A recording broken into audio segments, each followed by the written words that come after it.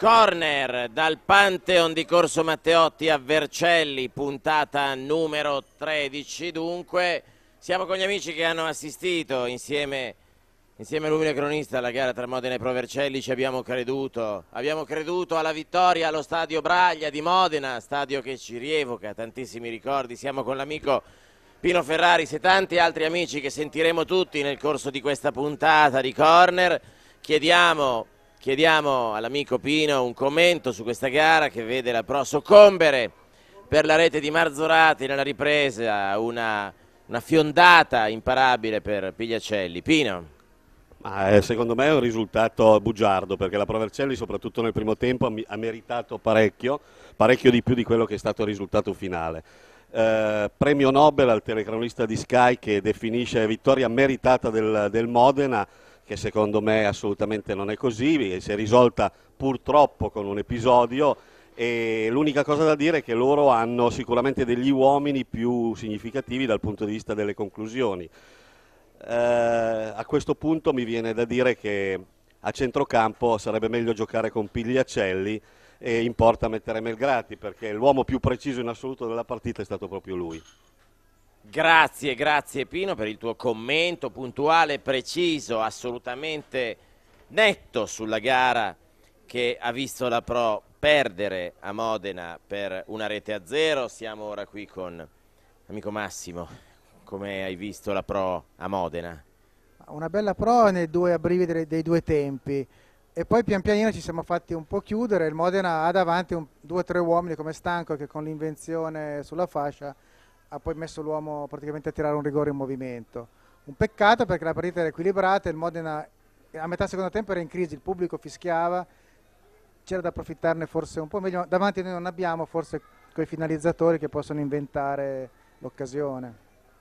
Questa pro che non mi segna più. Eh, questo qua è un grosso problema perché effettivamente oggi stavamo secondo me giocando una bellissima partita eh, contro chiaramente una, un'avversaria che sta lottando come noi per non retrocedere, per stare lì. E effettivamente la, la differenza l'hanno fatte le conclusioni verso la porta, eh, solo quello. La partita è stata giocata bene, il risultato anche secondo me bugiardo perché Modena dico, è vero, ha fatto due tiri verso la porta, ma poi nient'altro di più. Secondo me il pallino del gioco l'abbiamo tenuto molto più noi di loro. Grazie, grazie, è vero, certo che sì, in termini di, di possesso di palla credo che il Modena abbia, abbia, fatto qualche minuto in più. Adesso siamo con Nicola Fumarulo, Paolo Sala, Massimiliano Muraro. Vi cedo il microfono, commentate, commentate questa partita e le prospettive di una Pro che continua a far fatica a segnare e che dopo due partite senza prendere gol eh, ha raccolto una palla nel sacco. Sì, io non vorrei ripetere quello che è stato già detto. La Provercelli secondo me non ha demeritato, nel senso che loro hanno creato due o tre occasioni, noi forse una nel primo tempo con Mustacchio e basta. E giochiamo a metà campo, non subiamo tanto, è vero anche che creiamo poco e questo purtroppo se non la metti dentro potevi sperare di portare via il pareggio, che secondo me era il risultato giusto, però un rimpallo andato male in area, è capitato sui piedi proprio di Marzorati che Marzorati. ha fatto il suo primo gol in Serie B, mi sembra, cioè, è andata così. Oh. Paolo, Paolo Sala, collega della Sesia, un commento sulla gara e sulle prospettive di campionato di questa Pro. Marzorati fa venire in mente un grande play uh, del basket Ecco, beh, a parte questo, diciamo che l'andazzo della partita, il pareggio sarebbe stato il risultato, non perché siamo diverciali, il risultato più giusto. Eh, il problema è che un gol si può anche subire, può, un gol si può anche subire e il problema è poi rimettere in sesto la gara, creare delle occasioni importanti, cosa che la Provecelli non riesce a fare. Se togliamo il gol di Marchi che ha fatto contro il Vicenza, gli altri sono tre autogol e ancora prima dobbiamo eh, tornare alla notte di tempi per segnare, per aver fatto un gol, questo è, è, importantissimo. Adesso bisogna ripartire, la squadra ha fatto la, la sua gara, bisogna ripartire, sarà importante la partita col Como, un altro scontro, un scontro diretto è importantissimo. È chiaro che bisogna trovare qualche soluzione per la fase offensiva perché, ripeto, il gol si può anche incassare ma bisogna cercare poi di, di rimediare. Certo, grazie, grazie, grazie Paolo. Dunque Massimiliano, a te il microfono per commentare questa gara della Pro e per le prospettive, ha detto bene l'amico Paolo, non si riesce a sfondare in fase offensiva, come la vedi? Ma eh, riguardo alla, alla partita di, di, oggi direi che eh, poteva tranquillamente finire 0-0, però eh, sono i, le classiche gare che vengono decise da, che possono essere decise da un episodio e sono state decise da un episodio come, come in questo caso. Eh, come sottolineava Paolo, la cosa preoccupante è il, la carenza eh, di occasioni da rete, cioè un, uh, una deficienza in fase, in fase offensiva, che, eh, in fase di costruzione che, che, è molto preoccupante perché notavo prima che se eh, Foscarini ha avuto il merito di eh, di imbrigliare bene il, il, gioco del Modena e in generale il gioco delle, altre squadre avversarie, cioè facendo un gioco di ostruzione più che di, che di costruzione, ora deve pensare anche alla, alla, fase, alla fase, costruttiva.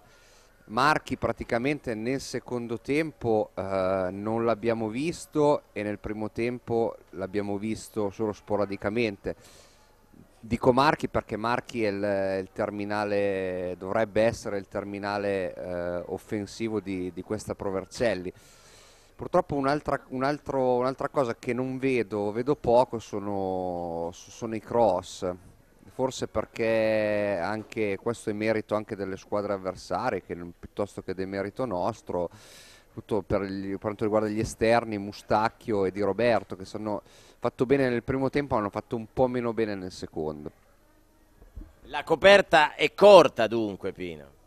Sì, la coperta è corta, però vogliamo almeno spezzare qualche lancia a beneficio delle cose positive. Ho visto comunque una crescita abbastanza evidenza di Mustacchio rispetto chiaramente alla, agli primi spezzoni part delle partite che aveva disputato e una nota positiva viene dai giovani, i giovani che devono giocare, assolutamente se si fanno giocare possono crescere. Una conferma di Bani che ha tenuto bene la sua posizione, Filippini a mio avviso non ha fatto male, però effettivamente la coperta è sempre piuttosto corta ho visto un Emanuello un pochino meno brillante del solito e quindi è venuto meno quel, quel, puntello di centrocampo che invece così bene ci aveva assistiti con la partita con Livorno. Io direi che comunque eh, la partita poteva assolutamente finire almeno con un risultato di parità perché comunque la Provercelli aveva tenuto bene soprattutto nel primo tempo sicuramente nella seconda fase della partita non c'è stato un calo fisico ma c'è stato un calo secondo me di concentrazione che ha provocato quell'episodio che purtroppo ha portato alla rete. Sì, siamo un po' mesti, siamo un po' mesti anche perché in realtà come accennavano gli amici e colleghi non si intravede per la prossima settimana il recupero dei giocatori che attualmente sono fuori, credo proprio che non rientrerà nessuno, voi come la vedete? lì bisognerebbe la domanda, girare la domanda al medico sociale della Provercelli, non lo so, però se, no, se, mi sembra di, di, aver intuito che Rossi potrebbe tornare eh, disponibile, non al 100% sicuramente, io su Rossi personalmente ho le mie riserve, molto, fino adesso è un oggetto, un oggetto misterioso. Eh, tanto elogiato quanto, quanto, nascosto, nel senso non ha ancora messo, non ha ancora fatto vedere le sue potenzialità. Grazie Massimiliano, dunque sul recupero e sulla figura, sul ruolo di Rossi. Sul recupero non ci resta altro che aspettare e sperare perché non, non sappiamo, la, probabilmente la partita verrà preparata senza questi giocatori, al massimo recupero in estremis un giocatore. Rossi parla del suo passato di buon giocatore, però Vercelli, dobbiamo essere onesti, non è stato ancora visto, quindi né positivo né negativo perché ha fatto qualche apparizione, probabilmente è stato messo in campo quando non poteva scendere in campo e quindi però per il momento io penso che la Pro deva pensare a programmare queste gare con l'organico attuale che ha e trovare una, una una formazione, una squadra che come adesso riesca a sopperire a queste assenze, anche per non provocare questi recuperi magari frettolosi che poi dopo si fermano ancora i giocatori per un mese. Assolutamente corrette le analisi dei nostri amici, dunque chiudiamo ora con, qui da questa posizione con altri due innamorati tifosi della Pro. Come, vedrete, come vedete, come, come, pensate che si svilupperà la prossima settimana questa Pro Vercelli Como, una sfida con una diretta concorrente per la lotta alla salvezza? Allora, io l'ho già detto l'altra volta, il Como ha due attaccanti forti che segnano e insomma, insomma per gli amanti delle statistiche di solito una squadra per salvarsi deve avere almeno un centravanti che segna almeno 10 gol. Quindi noi dobbiamo puntare su questa cosa qua. Adesso Ettore Marchi sta facendo fatica perché non arrivano i cross perché gioca molto spalle alla porta per tenere sulla squadra eh, però la statistica parla chiaro, bisogna avere un giocatore che fa almeno 10 gol per cercare di salvarsi. 10 gol per salvarsi? Sì, eh, segnare diciamo che è la base del calcio, non, non, non, segnare come stasera sono altri tre punti buttati. Col Como diventa fondamentale perché onestamente non vincere in casa col Como non so dove poi poter andare a fare i punti. Poi se gli avversari la, se la buttano dentro vince anche con Livorno, però onestamente con le tue forze sabato diventa veramente fondamentale. I, le, I, giocatori da recuperare non è che possiamo recuperare que, tutti questi, speriamo in rossi, io sono una, uno degli innamorati calcisticamente parlando di gatto, però cioè, speriamo che possano fare la differenza onestamente, comunque il crucio, il, il nocciolo della questione è che tu non segni. Purtroppo non segniamo e allora l'augurio e che la Pro ritorni alla rete nel prossimo turno contro il Como al Robbiano Piola, noi ci saremo, sempre Forza Pro. Forza Pro, Forza Pro, Forza Pro, Forza Pro.